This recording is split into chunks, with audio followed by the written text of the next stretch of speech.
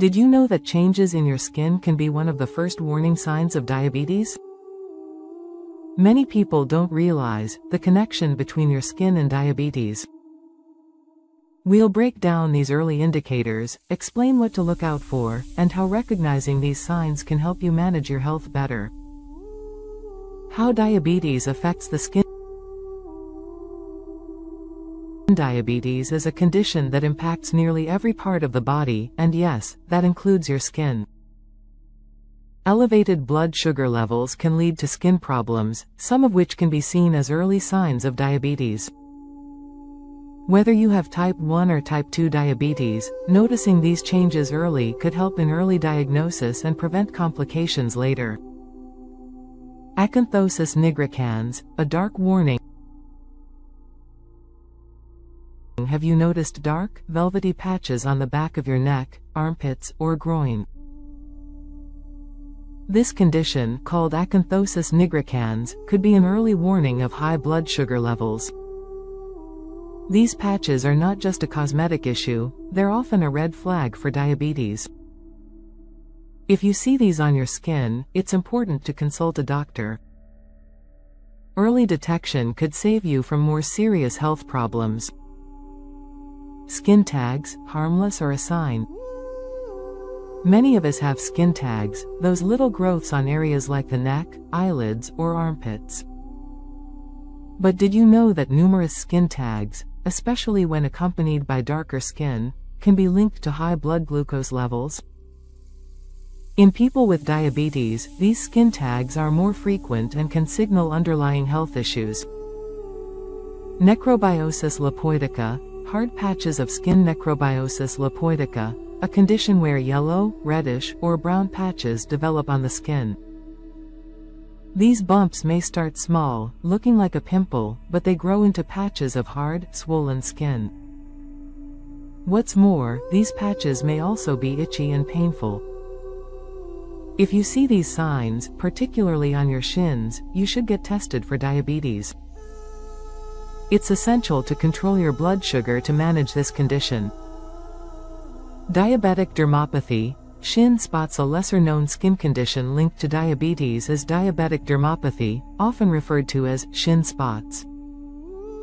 These spots resemble age spots but have a different cause, they are the result of changes in the blood vessels due to long-term high blood sugar. Although they are typically harmless and painless, they can stay on your skin for years. Blisters, skin hardening, and infections Some people with diabetes may notice blisters appearing out of nowhere, typically on the hands, feet, legs, or forearms. Unlike blisters caused by burns, these are painless but should still be taken seriously. Additionally, people with type 1 diabetes may experience something called digital sclerosis, where the skin on the hands, fingers, and sometimes the toes becomes thick and waxy. This condition can limit movement and make daily activities difficult.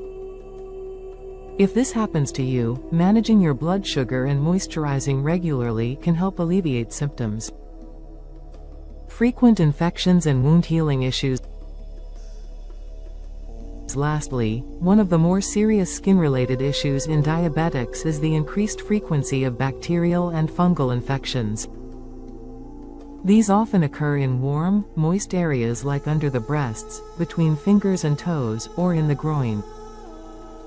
Infections such as jock itch, athlete's foot, or vaginal yeast infections are all more common in people with diabetes. More concerning is the issue of poor wound healing. Long-term high blood sugar can damage your nerves and blood vessels, leading to poor circulation. This means even minor cuts or sores, especially on the feet, can turn into serious diabetic ulcers if not treated early. If you're new here, don't forget to hit that subscribe button and click the bell icon for more informative content. So, what should you do if you spot any of these changes on your skin? First, don't panic. These signs don't automatically mean you have diabetes, but they are a strong indication to get tested, especially if you have other risk factors like obesity, a family history of diabetes, or if you lead a sedentary lifestyle.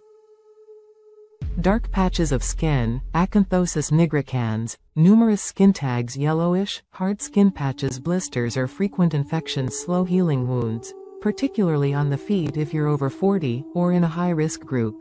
Regular blood sugar tests could help catch diabetes early and prevent long-term complications. This video is for information and education purpose only. Please note that while skin changes can be linked to diabetes, they are not always a definitive diagnosis. Always consult your healthcare provider for a proper assessment and testing.